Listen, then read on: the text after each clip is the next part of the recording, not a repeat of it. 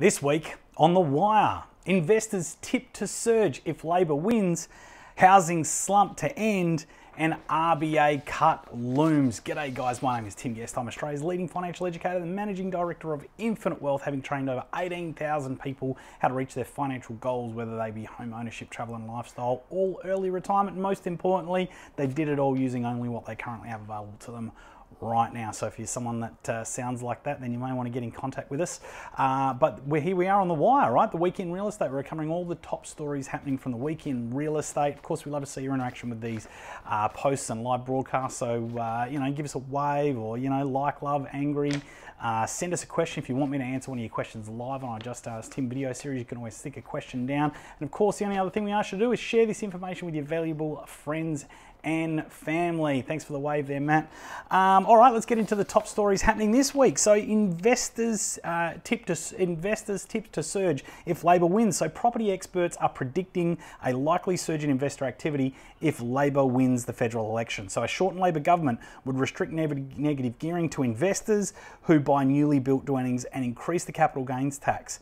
Uh, with the changes to start in January 2020.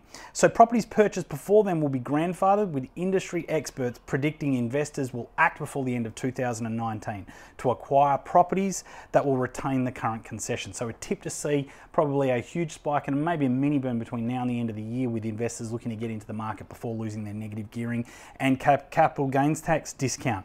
Award winning buyers agent Rich Harvey of Property Buyer says a Labor win on the 18th of May might create a mini boom boom with heightened investor activity.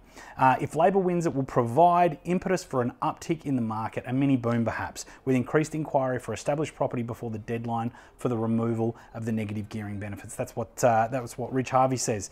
Uh, continuing, he says that is likely to be combined with at least one cut in official interest rates.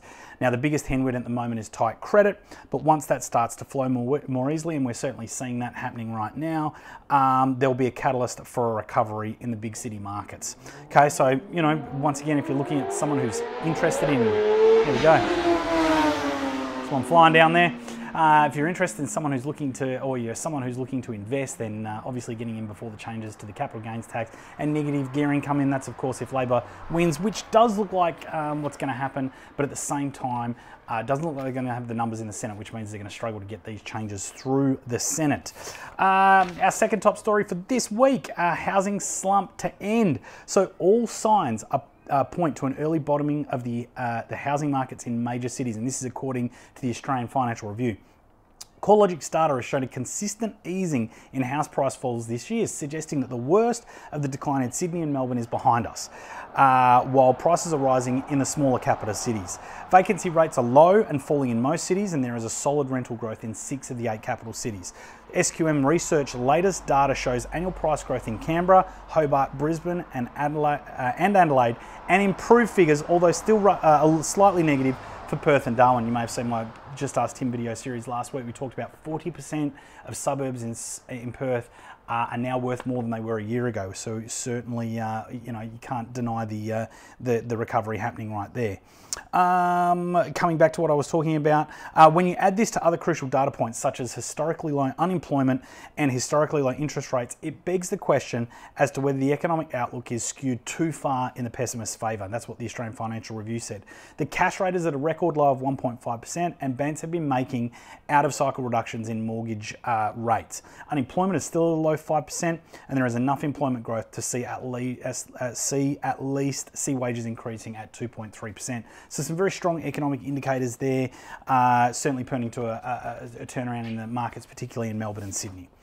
Let's get into our final top story for, for today, guys. Uh, RBA cut looms. So, despite speculation about a cash rate cut, the Reserve Bank this week held uh, the, uh, the uh, cash rate at 1.5%. That actually marks 30 consecutive months without change.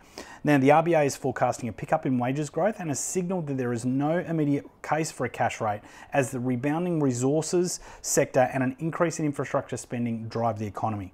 The strong employment growth over the past year or so has led to some pickup in wages growth, which is a welcome development. That's from uh, RBA Governor, uh, Governor Philip Lowe. Um, he also said that there'll be some further lift in wages growth expected, although this is uh, expected to be a gradual process. The RBA is also pressuring the banks to do the heavy lifting on interest rates, pointing out that mortgage rates remain largely unchanged despite lower bank funding costs. So we're seeing a lot of the, the banks out there starting to reduce their rates, particularly their fixed rates, uh, with I think 3.58 is the lowest rate that we've currently seen. That's for an owner occupied. Investors, we're seeing around about that 4% and up. So if you're not paying that, you certainly want to have a chat, chat with our team as well. Um, in the latest uh, Finder cash rate survey, 75% of economists correctly forecast a hold of the cash rate this week. So they announced their um, um, their cash rate decision on Tuesday. Um, but Graham Cooke, Insights Manager at Finder, says the rate will be eased soon. At this stage, most of our experts are predicting at least one cut by August, and many other expect another drop after that. A cash rate of 1% is inside. So that's what Cooke says. So a little bit of easing in the interest rates there, just to give a, um, a little bit of, uh, I guess, extra incentive or uh, extra encouragement to the Australian economy. Just make sure you get through this stage where there's a little bit of uh, uncertainty. But guys, that covers off everything, or the three top stories happening from the weekend real estate for this week. Thanks for tuning in. Like I said, we love to see your interaction. So comment, like, love, wave, angry, depending on which um, social network you're on there. Uh, of course, we'd love to see you share this information with your friends and family as well. And if you've got any questions um, for me and my Just Ask Tim video series that we do once a week, uh, please send them through. Love getting back to you. If you haven't seen this week, it's about Perth's top cheap eats. Uh, I give you my number one best held, best kept secret in Perth. Uh, don't tell too many people, right? Tell them to watch a video. Um, so if you know what your best uh, best cheap eats are, make sure you comment on our uh, on our other video. Let us know what it is so we can share it with the community too. And apart from that, guys, have a great weekend. Look forward to speaking to you next week. Thanks a lot, guys. Bye.